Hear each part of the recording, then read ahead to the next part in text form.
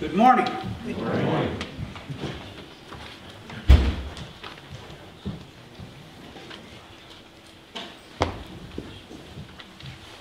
Did everybody have a Merry Christmas? Yes. Awesome. Um, the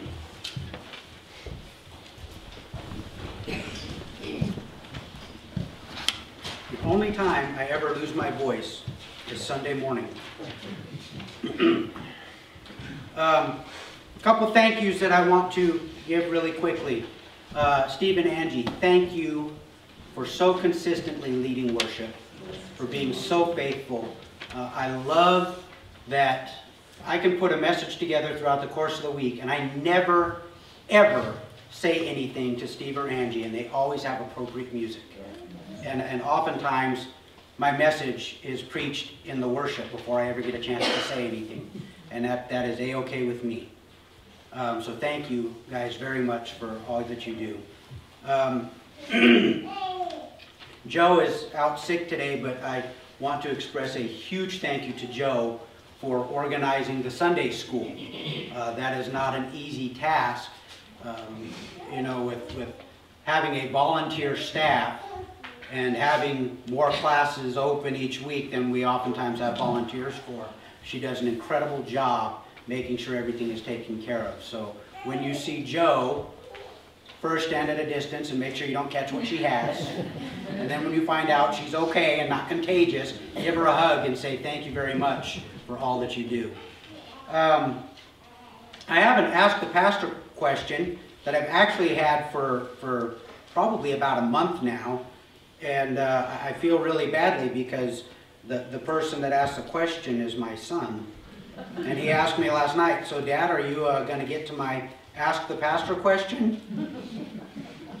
yes, eventually. Um, the question is, I have heard it said that salvation once gained cannot be lost. How is this reconciled with Matthew 13, 20 and 21?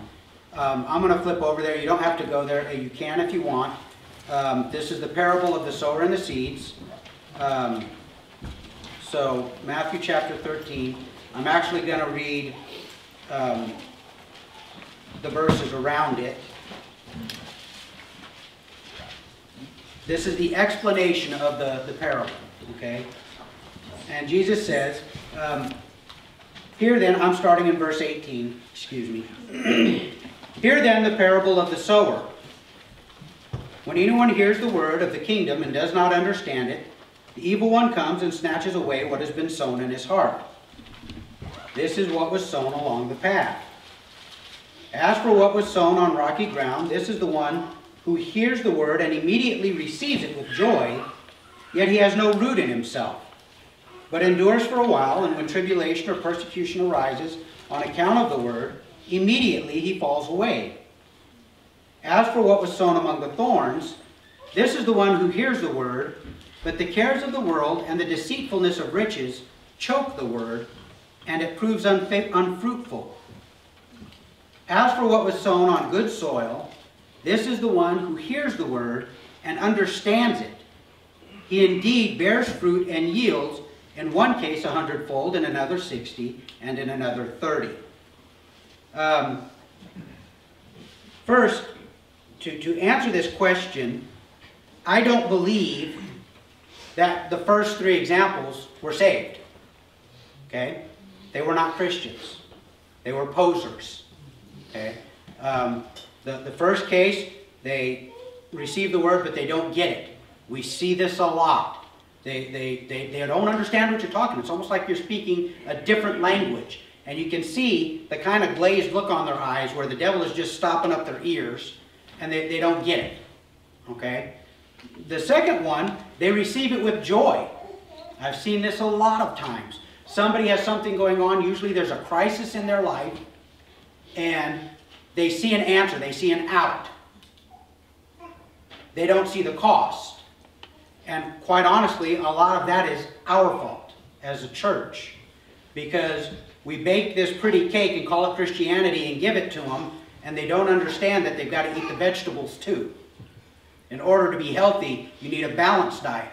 And we, we painted this grotesquely inappropriate picture of Christianity. Come to Christ and all your problems will be solved.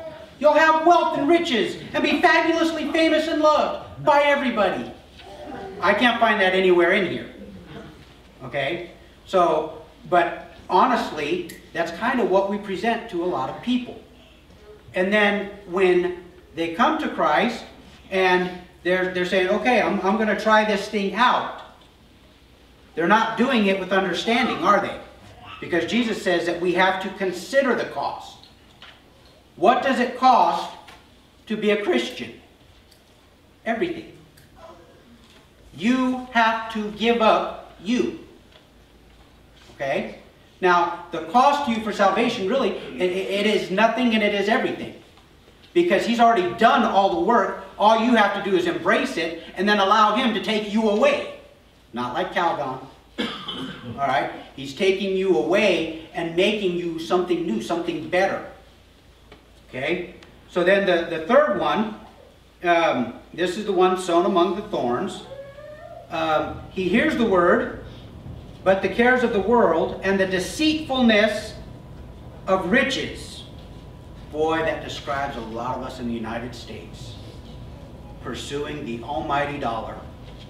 You know, if I had just a little bit more, you'd ruin it just like you had when you had a little less. As your income increases, you increase your bills. That's the American way. So we're always living hand to mouth, paycheck to paycheck. Okay? They're pursuing the American dream without understanding. You look at the men that, that built financial wealth. They did it on principles. They didn't do it by luck and happenstance. You look at the lottery. Did you know that 70% of people that win the lottery within a span of, I think what they say is like five years, have nothing? They blow it. Oh, if I could just have a million dollars. You, you, and it'd be gone. Okay? If you're not faithful with the income you get in a year, what makes you think you'll be faithful with a million? so they they uh, the word proves unfruitful in their lives. Now, the first one, obviously, there, there's no even glimmer of a Christian there. But the second and the third one, that, that kind of looks like at some point they had at least an appearance of Christianity. But what does Jesus say about Christians? The ones that will be saved are those that endure to the end. Okay? That's not to tell you that you're not a Christian now, but if you are a Christian now, you will endure to the end. Do you see what I'm saying? Oh, oh, you're God. You, are saying that that I, I have to go through hardship? Yeah. You're saying it's going to be tough? Yeah. But I'm also telling you that you have someone that has taken you in his hand and is holding you firmly and will see you through all of it. Okay? But if you try and pose, you try and be the religious person and, and do the things that a Christian should in your own power, when trials come upon you, you're going to fall. When you take off pursuing your own agenda, you're going to fall.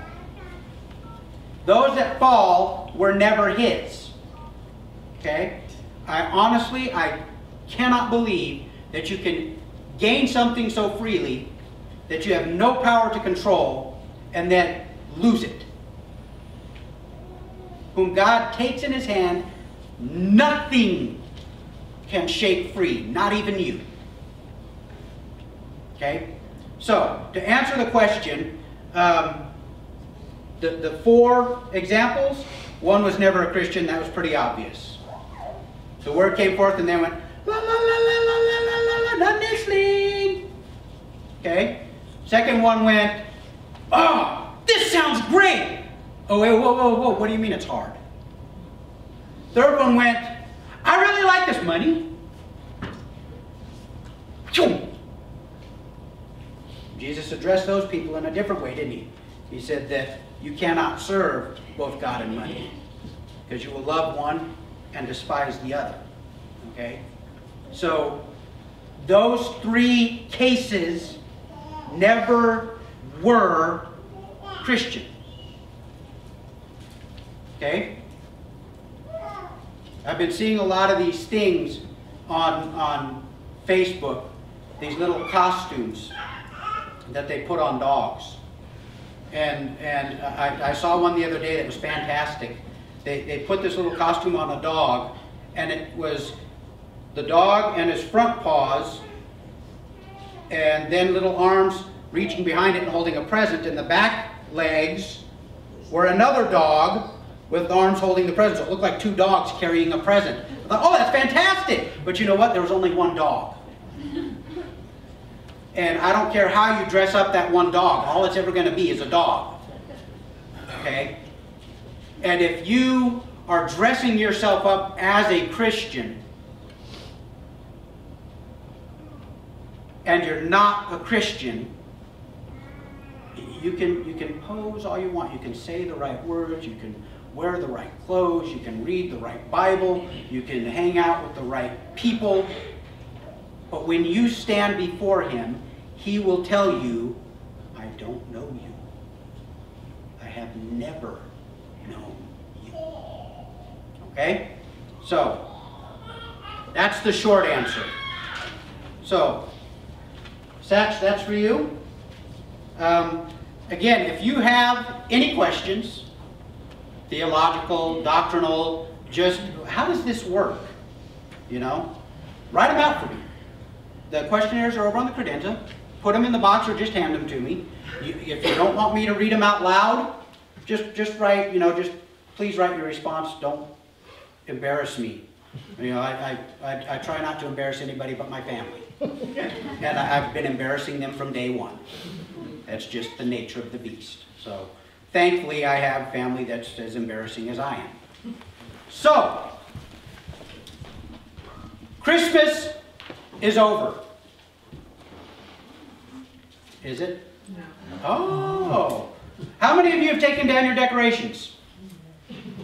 What? Ah. Christy made me wait till yesterday. I was I was cleaning up the wrapping paper and putting it in trash and I'm trying to like take things off the shelf and she's like, ah, Saturday. You gotta leave them up till Saturday. I like my life. Everything in its place. I have a rule, actually there's one rule in our family, but there's a million subsets of that rule. Okay? One of the rules is if you borrow my keys, it goes in one of two places when you're done with it. What are they? In your hand or in your box? In my hand or in my box. Don't put them somewhere else because I have no idea where you keep your stuff. Okay? So when somebody needs my keys, well, actually, Josh's key because I'm driving his car. if Christy needs to go start the vehicle, when she's done, it comes in my hand or in my box where I keep my keys. So if I reach in my pocket and go, I don't have my key. Well, I don't have Josh's key. I know where to look. It should be in my box. Okay? I like my life. Normal. I like Christmas stuff. When Christmas is done, I want it packed up, put in a box, and put away. But,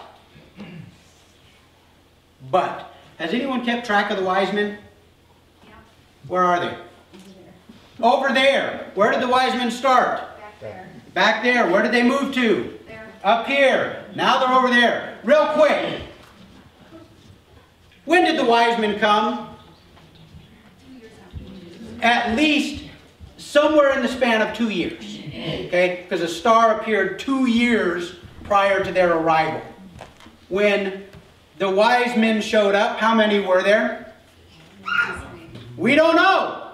The Bible doesn't tell us. It says there were three gifts, but it doesn't tell us how many wise guys there were. You know? And, and, and tradition, uh, man, they came up with these names. Uh, I don't know where they got them. Okay? And I don't know why they stopped at three. But the wise men didn't show up. So we've been moving the wise men on their journey. Unfortunately, our Jesus isn't growing up. He's not. No, he's stuck. And, and our, our, our house is on the east, and our guys have been coming from the west, but they'll understand kind of the journey, all right? Um, the wise men didn't show up right before or after the shepherds. As a matter of fact, Scripture makes it plain to us they were living in a house at that point. Okay? They weren't in the, the, the Jesus wasn't in the manger. They didn't have this cute little thing with, you know, gray-haired Joseph. Why is Joseph always with gray hair? It's his first child. And we know they had numerous children after that. Wow. It's like Benj and Shay. awesome. Why? I mean, I understand now because my children went through puberty. And it, it fades to transparency. But I mean, this was his first child. And, and, and the clothes that they're wearing, all these flowing garments, and they're beautiful colors, and there's, oh, fooey. That's not how it happened. So, let's get to the word today. I'm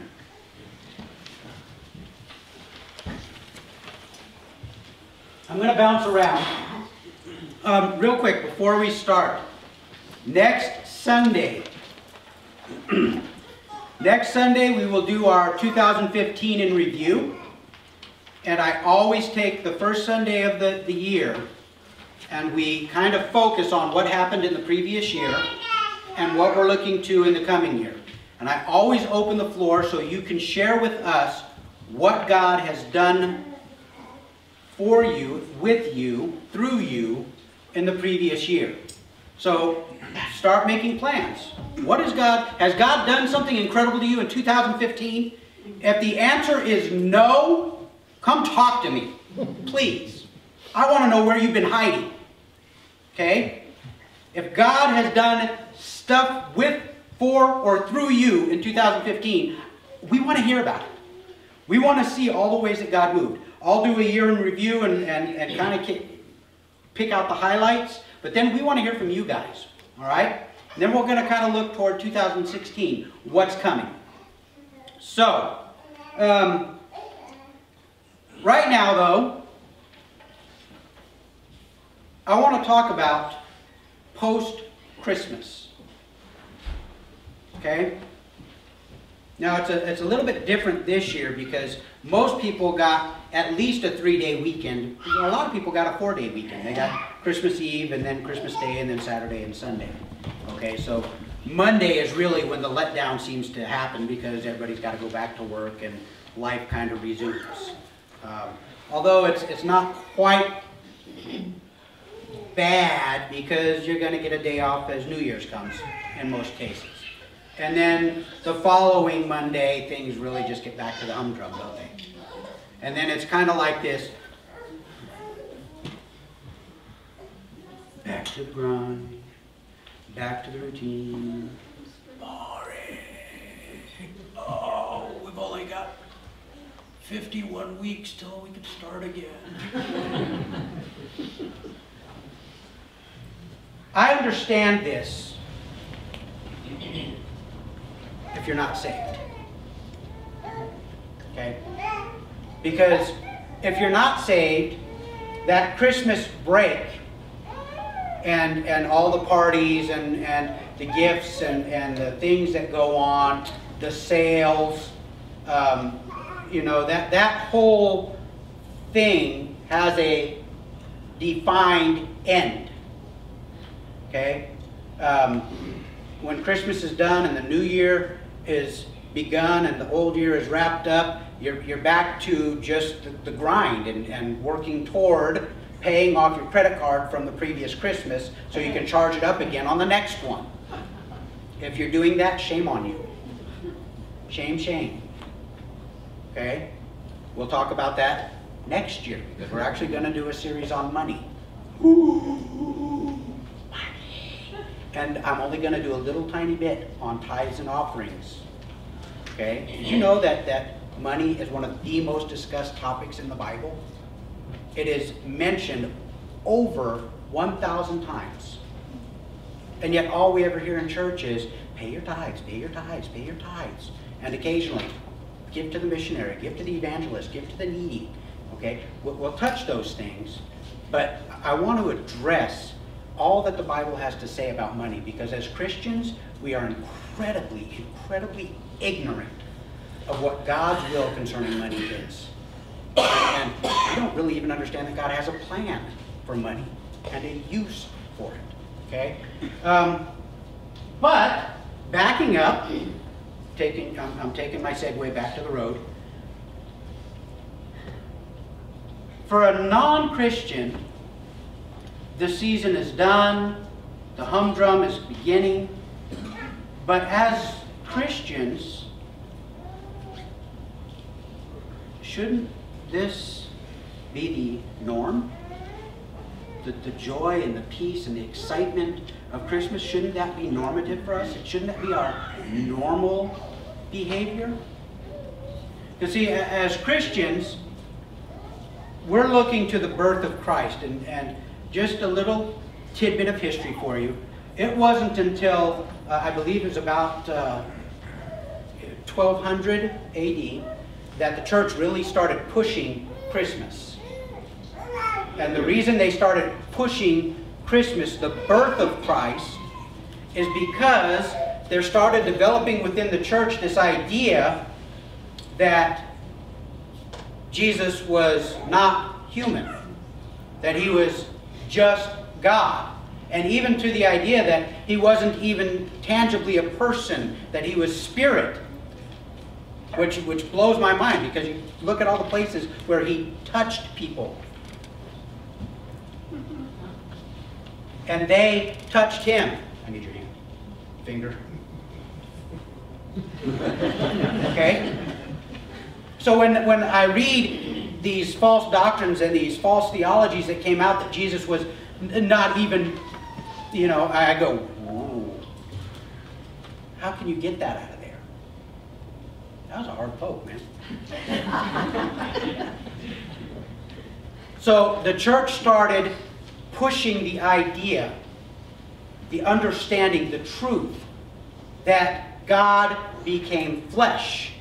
He, the incarnation, God became flesh, became man, and had all the same things that we have hunger, bathroom needs, body odor.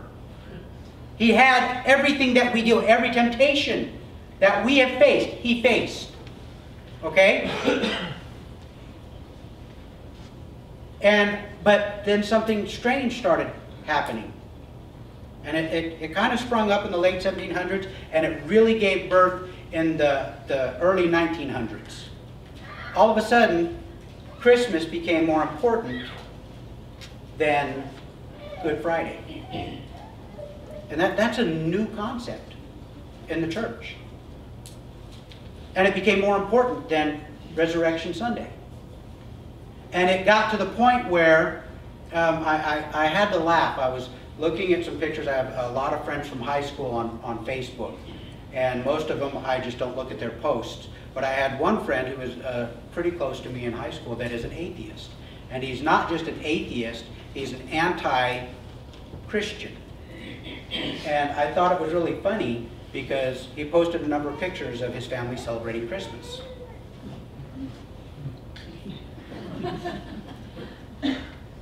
He should call it Debtmas. Because that's all it is. You're, you're spending money to celebrate spending money. Look, I, could, I can buy you something.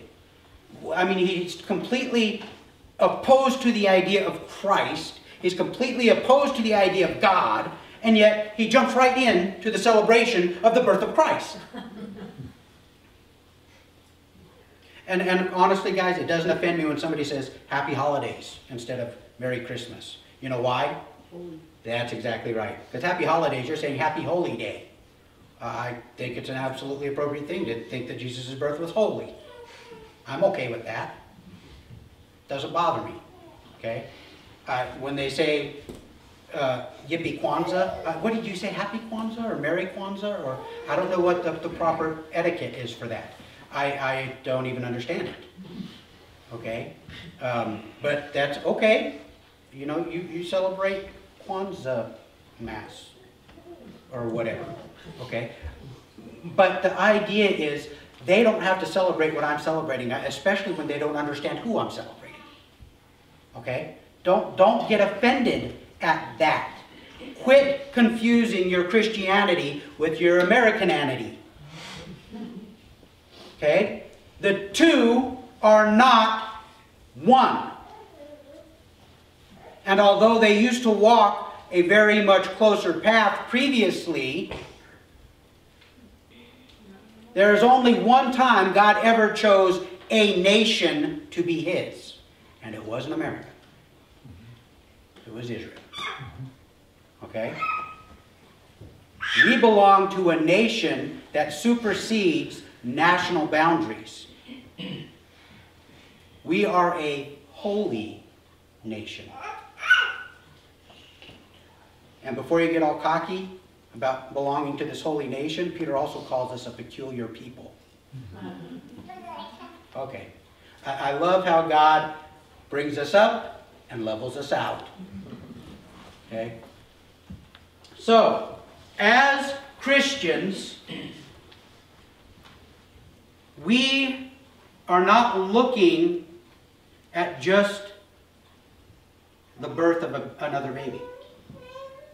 We're looking at the Messiah who was born as a baby. Okay? We are looking at the Lord of all come to earth, not just another birth. We're looking at God incarnate, not just another birth. December 25th is an arbitrarily picked date. It was actually chosen by the church to shift the focus from another celebration. Okay? And, and it was a, a pagan holiday, and the church took it and made it its own. Now, before you get all excited about this stuff, okay? Halloween, oh, the festival of Samhain. You know, the church is, is really, this is a day dedicated. What day is not God's? Please? What day is not holy unto Him? Paul tells us it doesn't matter whether you celebrate the Sabbath or the new moon feast. Celebrate unto God. I can take any day of the year and make it holy unto God because He's what makes it holy. And I can celebrate it. So don't get all uptight about, oh, why December 25th? He wasn't born on December 25th. No, he wasn't. Most likely. Most likely he was born sometime in September. I've heard dates even as early as July. Christmas in July. Who wants to do that with sweat? A lot of people, they live in places like Hawaii.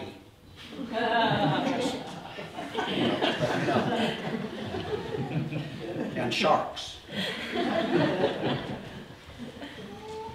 But as Christians, we celebrate the birth of our Savior. We celebrate a chance at a new life, a new creation, a new relationship with God. Because the status quo is enmity. The status quo for humanity with God, they're enemies. Okay? Don't get this idea that, oh, we're good people. Bull. Poopy. There is no such thing as good apart from Christ.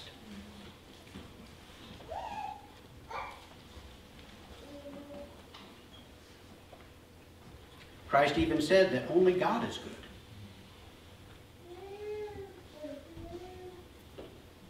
So when we look at Christmas, we're looking at the celebration of the start of something huge.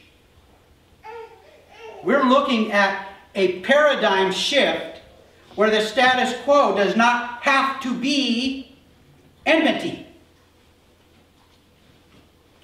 We're looking at the possibility of being included into the family of God. Do you understand that? Do you understand the significance of that little statement? You can be part of the family of God. I had the privilege of going to um, the official adoption of, uh, for, for those of you that remember him, Paul and Sherry Cabrera. And, and they adopted Sadie. And it was a, I, I tell you, I, I know there's a God by how he sustained Paul and Sherry through that whole process. But we got to go in and, and we got to stand before the judge as he said that, okay, this adoption is official. Sadie is now a part of your family. And he, he said some incredible things. He said, you take the responsibility of her life just as you would a natural born child. And you will be her parents and she is your daughter. There is now a relationship where there wasn't one before. And those of us that were there were, were talking on the way out how incredible, how much we emulate God without realizing it. Because we are adopted into the family of God. So this season that we're, we're wrapping up really is never wrapped up. It, it, it's, it's ongoing, ongoing. And then this one time of the year, the world that does not know God gets a little glimpse of what we have ongoing. And so when we come to the end of Christmas and the end of this holiday season, it should never be, it should be, yeah, let the party continue. I'm not a party dude, okay? Um, I, uh, Christmas Eve at our house was loud. I, I, I get nervous around loud. Okay, I don't go to loud events. Uh, I went to one concert in my life. It was loud. and I couldn't even understand what they were singing because everybody was so loud. And I don't understand the point of going to a concert and not be able to hear the concert. But Christmas Eve was loud, and there was happiness, and there was joy, and there was cheer, and there was cheating at Monopoly. and, and, but we had a festive time. And then Christmas Day, it was calm. And, and there was not the noise, but there was still this, this deep sense of, of contentment. And, and I'm, I'm very much a family person, okay? I will choose family before just about any other event, if given the choice, okay? And my family has grown to the point, and, and there have been, you know, four of the five are married, and they have other families that, that they're obligated to go and do stuff with, just like, you know, their spouses are obligated to come to my house. And so Christmas Day, it was quiet because they all went to their other families, and that was okay. Because it was just, uh, Josh and Mackenzie were there in the morning, and then they went over to the divorce, and I saw the pictures there. They looked like they had fun. I still don't understand the, the waltzing in front of the tree and why Josh, his face was covered by Nick's hand. But, um, you know, there's stories to be told. But it was Christy and Thaddeus and I, and, and I was not looking forward to Christmas because each year it seems like, you know, another one leaves. And and Christmas gets smaller and smaller, but this year there was just this sense of peace. And I, I, preached several weeks in a row about keeping the focus of Christmas what it is. And I think God honored that in me as I was seeking to keep Him first in the celebration. I think He honored that. Now, you've got your Bibles. I told you to bring them out. Flip open to Galatians chapter 5. We're going to look there real quick, okay? because this is what Christianity should look like. Okay? And as we wrap up this holiday season, this is what our lives should continue to be like.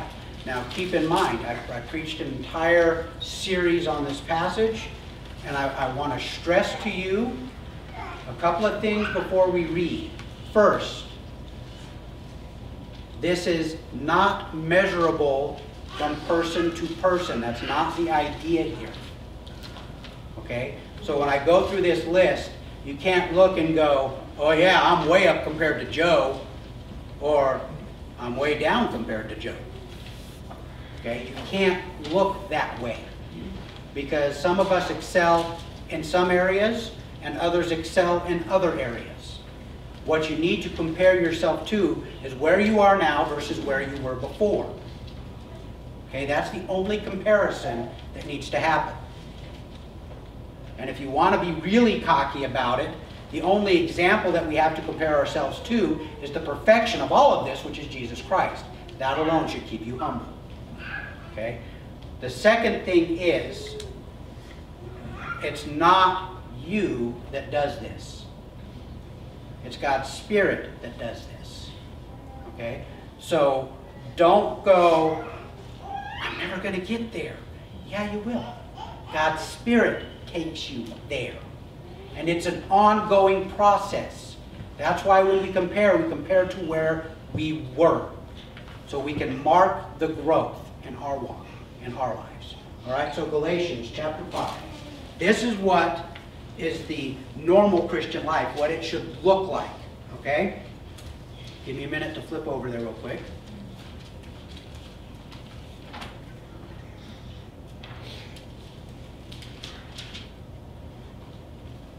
okay,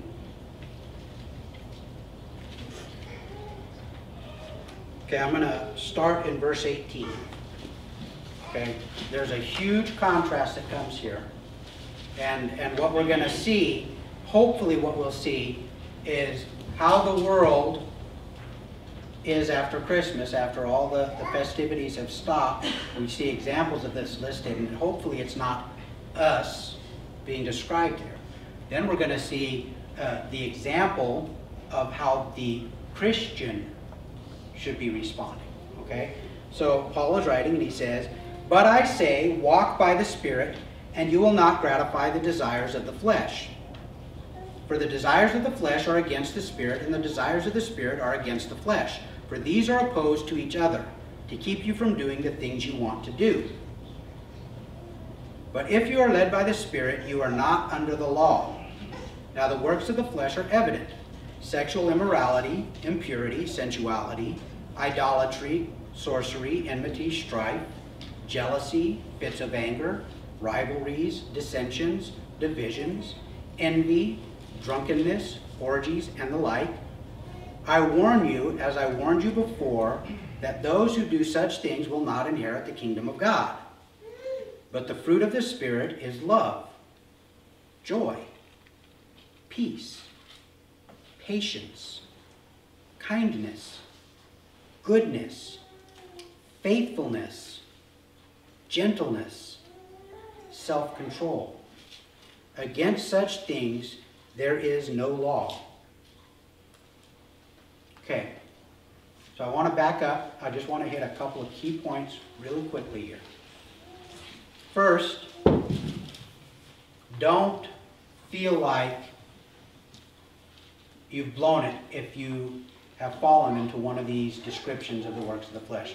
Keep in, in mind, these are examples. This list is not all-inclusive. Okay? Because you can look through this list and go, uh, no, not into sorcery.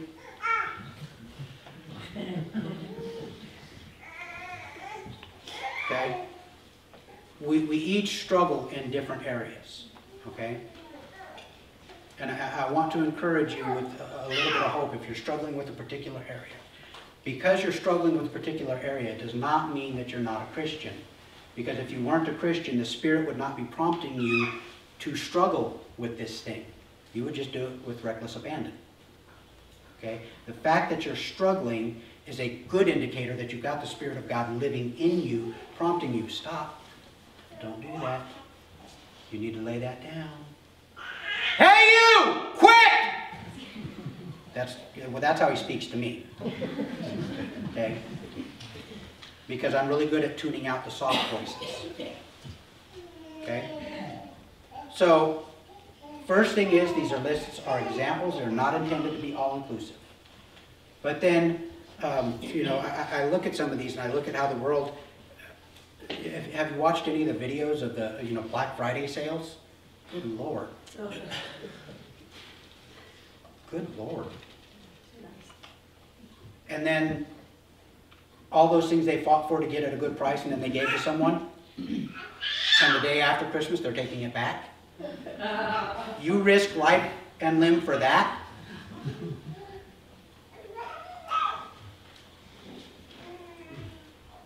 But the fruit of the Spirit, this is what our lives should look like ongoing, increasingly. Now, again, let me remind you, this is not you that does this. It's the Spirit living in you. It's the Spirit that is growing you and is changing you. Okay? We, it's like looking at that seed. You look at the seed and you go, uh, okay, it's just a, you know, look at a kernel of corn that you stick in the ground. It's hard. It's, it looks like it's dead. There's nothing there. You dig a hole, you put it in the ground, and you cover it, and you water it, you let God do the work, and God brings forth a stalk of corn. And it reproduces after its own kind. That's the way our lives should work according to Scripture. God takes what is dead, He buries it, and we have that representation through baptism, and then He brings it forth new, and it grows, and then it reproduces. Okay? So, this is what we should have in increasing measure love, and this is agapeo. Okay? This is unconditional. It's not based on whether or not they deserve it. Okay? God loves you even though you were and sometimes are unworthy of being loved.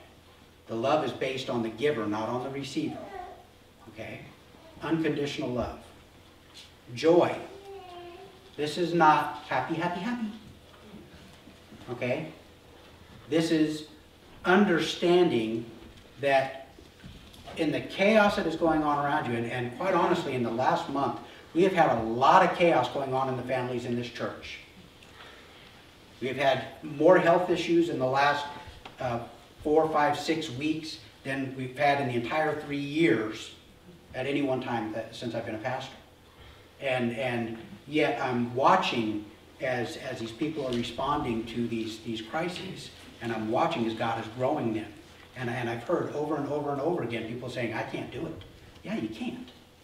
That's probably why God put you in that place, so you could see Him do it. Okay? So, joy, understanding Him, says in the presence of the Lord is fullness of joy. Peace. That doesn't mean, peace does not mean necessarily quiet. Okay? You can have peace in the midst of loud, chaotic things. I felt that Christmas Eve. As grandchildren were running around, hyped up on candy canes and every other kind of sugar that Grandma and I stuffed in their stockings. And their parents weren't paying close enough attention as Grandma and Grandpa were sneaking them more. We can do that because we know they're going home in a little while. Kids come out with a glass of water in their little sippy cup. Papa takes it and dumps it and puts soda.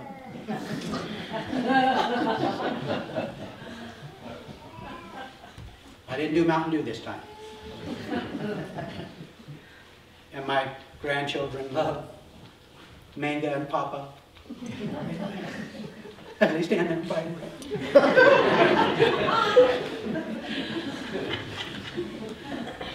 but in the midst of all that was going on, and it's so funny because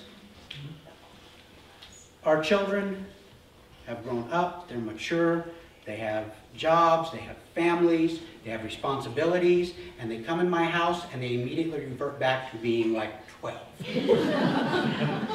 So I, I love it.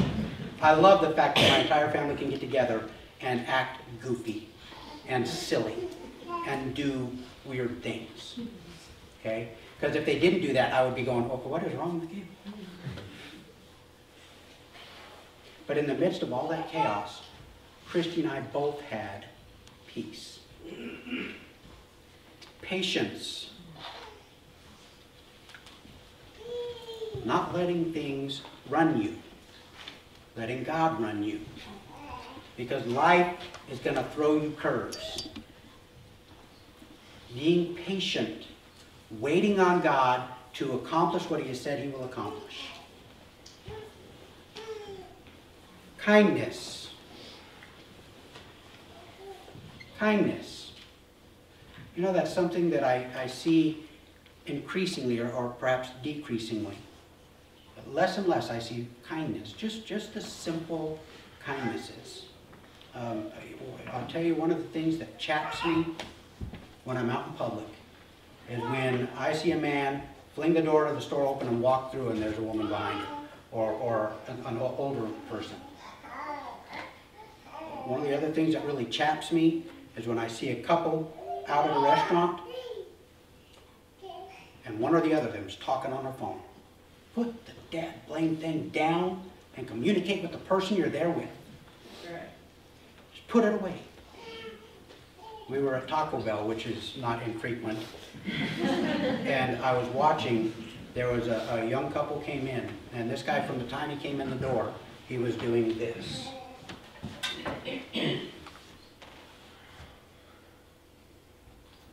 And they walk up.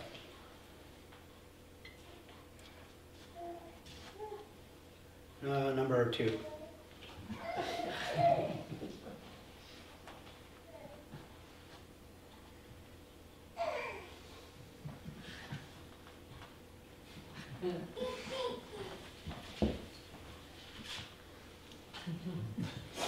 I wanted to slap him. Not, not because he was necessarily on the phone, but because sitting across the table from him was this beautiful young lady that chose to be with him in that moment, at that restaurant, at that table, over that food. I use that term loosely. Okay? And he's completely ignoring her. Dude,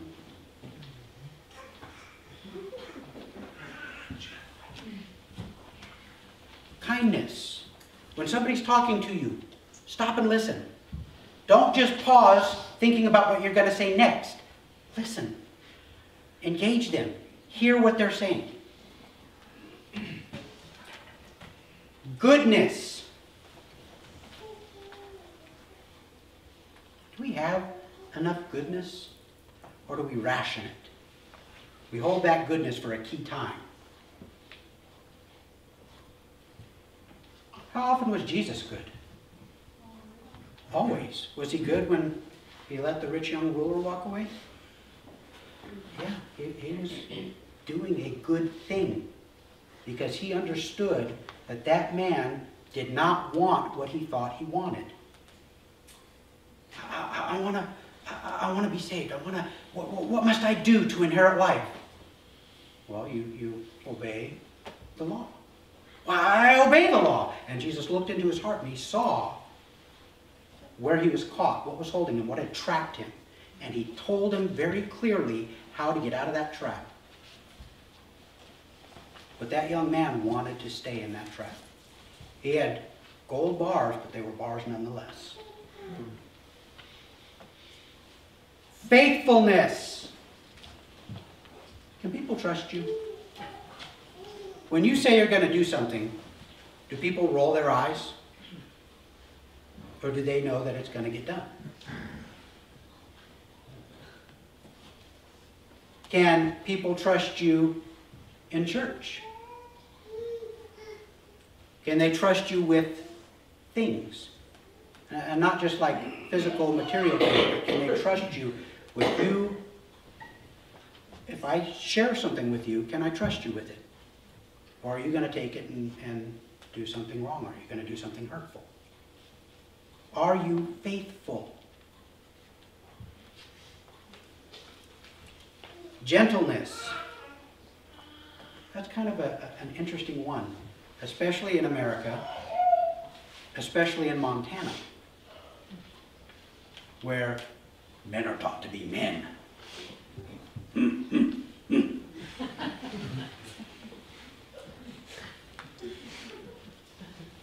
You guys do it, you know. I'll tell you what, we bagged our first elk this year. And it was Christy that did it.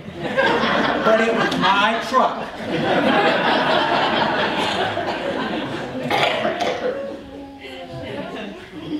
So now I can go with all the hunters.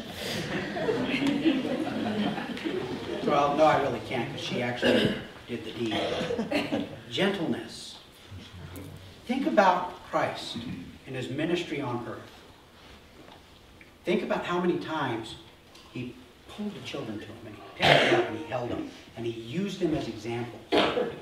Think about how his heart broke when talking with Mary and Martha and, and going to see Lazarus. And, and knowing that he was going to raise him from the dead, and yet knowing that, that uh, I think when he wept there, he was weeping for the grieving with the people that were there. But I think he knew what was going to happen. He was not doing a good thing for Lazarus. Uh, Lazarus was getting ready to receive his reward. He was bringing him back knowing that the Pharisees, the religious leaders, were going to persecute him and ultimately kill him.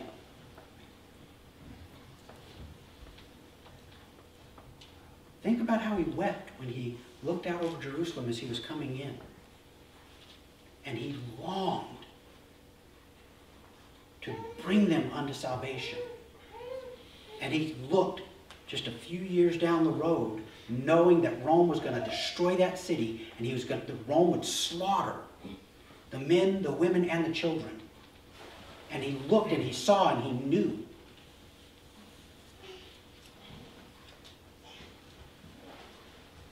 Self-control. Now that's a weird thing to talk about after we've celebrated Thanksgiving and Christmas. And, you know, we put on the holiday pounds. And we're looking to making New Year's resolutions to remove those pounds before we add more in the next holiday season. Self-control. Choosing how you will act instead of just responding. This is the normal Christian life. This is what we should be increasingly in. Okay? When it comes to Christmas, really we're in our natural environment. This should be where we are all year long. Not here for a little while and then gone. This should be ongoing, ongoing, increasingly. Remember, we, it's increasingly, not perfectly. So when you look at these things, because every time I read this list, I go, because I can think of examples where I have ditched every one of these. Increasingly, not perfectly, allowing God's Spirit to work in you the Christ-like nature that He has called us to. So that ultimately, it's more of Him, less of me. Until ultimately it becomes Him and not me. And I can be just as He was. No, I'm not saying I'm going to have olive skin and I'm going to wear Jewish clothing from the turn of the millennia. I'm not talking about that. The nature that I have in me will be exactly like Christ wants it to be, exactly the way that he was. Okay? Father, I bless you this morning and I thank you that you are good to us. And Father, as, as we celebrate your birth, we even more celebrate that you chose to die in our place. God, that you chose that you would take all of your wrath and pour it out on your Son. That the price would be paid. the sentence would be met. And that we could stand before you absolutely righteous with your righteousness, not our own. And Father, we celebrate because you have given us your spirit that leads us, that guides us, that convicts us, that changes us, that grows us. And you have set us in the body of Christ with other believers that can help us along the way, that can stand beside us, that can shield us in the fight. We thank you that you know so well everything that we need, and you've put everything into place to make sure that those needs are met. We thank you that everything good in our life comes from you. And we bless you this morning, Father, in Jesus' name. Amen.